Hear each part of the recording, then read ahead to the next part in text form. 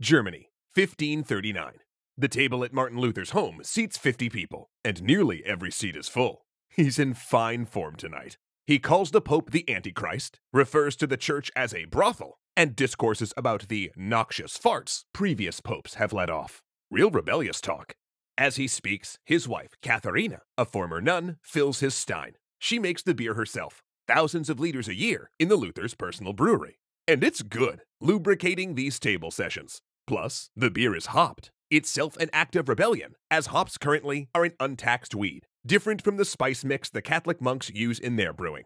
As Luther continues, one listener takes notes and will publish these remarks in a book called Table Talk. Others will create beer steins showing the Pope as the Antichrist. It would seem that Catholicism's monopoly on Christianity and brewing is falling apart over Katharina's fine beer.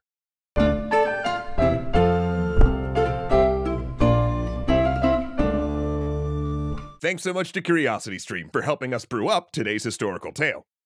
When we left off, alehouses, taverns, and inns had come on the scene. And just as important, people had started hopping ale, a method that properly turned the beverage into beer, creating a more complex tasting product that could be made in larger batches without spoiling, shipped, and to a certain extent, even branded. Indeed, hops was the first true step in turning beer into a viable commercial product. And as the 14th and 15th centuries wound on, certain breweries started becoming famous for their beer. One major center of brewing was Munich, where the Augustiner Brewery, run initially by Augustinian monks, formed in 1328. Soon, they were experimenting with a new type of strong beer known as Bock. Much as France was already famous in the medieval era for its wine, Munich became known for its quality beer, a reputation they tried to protect by passing a beer purity law in 1516, declaring that the only ingredients in beer could be water, barley, and hops, yeast being considered part of the production rather than an ingredient. While this was not the first beer quality law in the Holy Roman Empire, nor did it apply outside of Bavaria, it was a masterful exercise in branding, declaring to the European market that Munich cared about its beer. Not everyone, though, was so excited about hops. The English in particular considered hopped beer repulsive and unhealthy, a drink for foreigners, while unhopped, top fermented ale was best for them. Even Shakespeare weighed in, having his heroes drink ale, not beer. And no wonder, for his father was an official ale taster. But beer was becoming more common in England. By 1574, 36% of London brewers had switched to hopped beer, leading to a competition between the two drinks. Unable to compete on longevity or its array of flavors, English ale brewers began tinkering to increase the amount of alcohol. London's beer brewers retaliated until England was awash in high proof mixes, given hyperbolic names like Dragon's Milk, and English beer became thus known as both powerful and coming in a huge variety of flavors.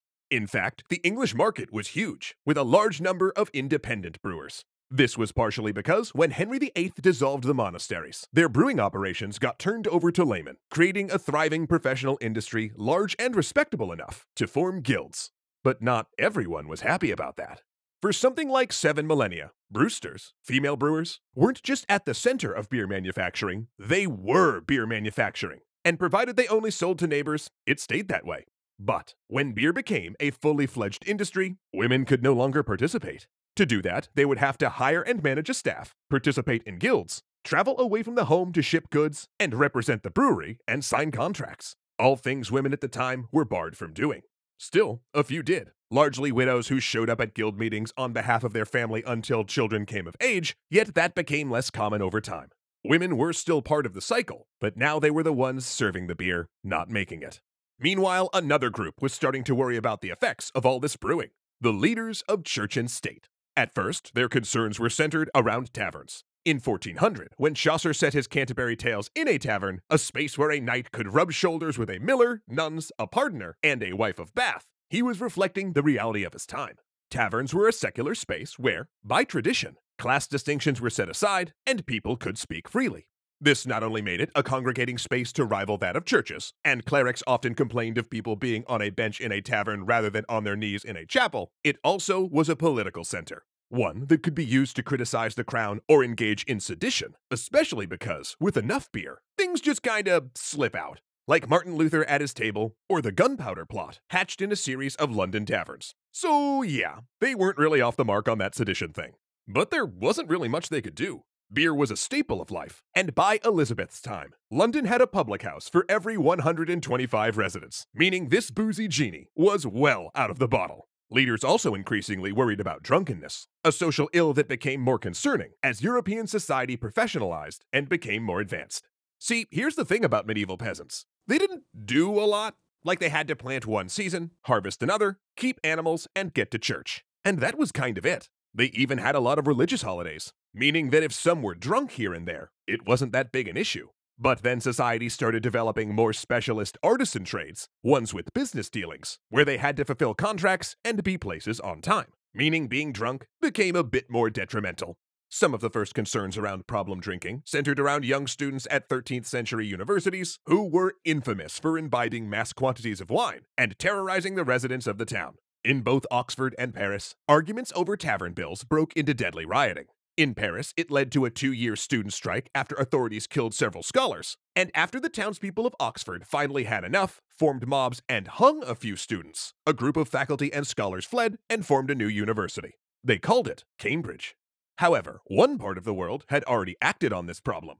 In the 7th century, after a series of incidents among his followers, the Prophet Muhammad had decided to outright ban Muslims drinking alcohol. But Christianity wasn't exactly into that. Not only did Jesus drink wine in the Bible, one of his signature miracles was turning water into wine. Plus, in the Catholic Church, wine is a sacred part of communion, and lots of monasteries made money for the church and the poor by brewing.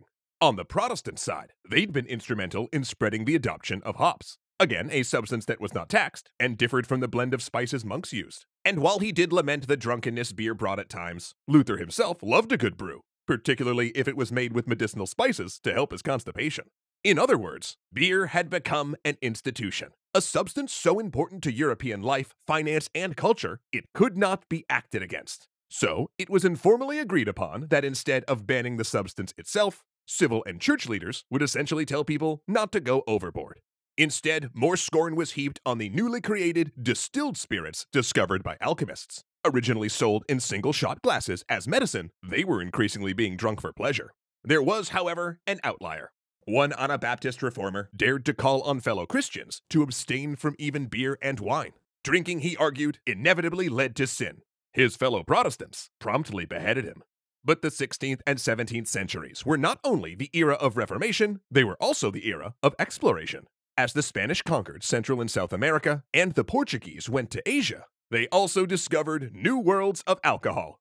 In Peru, they found the Incas making maize beer. The Aztecs, meanwhile, fermented agave sap into a cloudy beer like concoction, which, once distilled with European technology, became mezcal and tequila. In China and Japan, sailors encountered fine rice wines, Wherever they went, they found drinks made from fruit, tree bark, and palm sap. But when the English landed in North America, they contacted a people who, while they fermented alcohol out of mesquite pods and maple sap depending on their region, had not encountered stronger grain-based alcohols. The settlers decided to change that.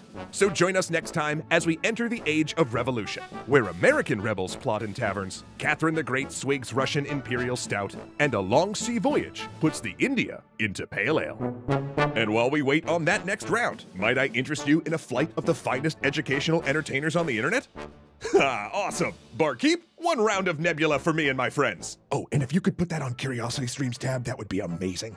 Not only can you get all of our shows on Nebula without ads like this one, but we've been building up a pretty nice collection of extra content over there as well. I've done videos breaking down the openings of both Bioshock and Cowboy Bebop. Can't wait for that inevitable crossover, by the way. My erroneously titled weekly podcast, the only podcast about movies, explores the conversations films start, and of course, the Extra History team and I were able to craft an exclusive episode on Tipu Sultan, thanks to Nebula's support. Not to mention, Nebula's home to a ton of our other favorite internet folks as well, such as Cinema Wins, Mary Spender, and Legal Eagle. And because Curiosity Stream is a fan of independent educational creators, they've teamed up with us over at Nebula so that we can offer you what, in my humble opinion, is the best deal in streaming today. Sign up for Curiosity Stream using our link in the description, and you'll get a matching Nebula subscription for free. And that's on top of Curiosity Stream's thousands of big budget nonfiction videos and award winning original series, curated across their truly ginormous library of shows. Recently, I just watched what I would say might be the absolute greatest companion piece to one of our video topics we've ever found. I'm, of course, talking about the documentary Pizza, a Love Story.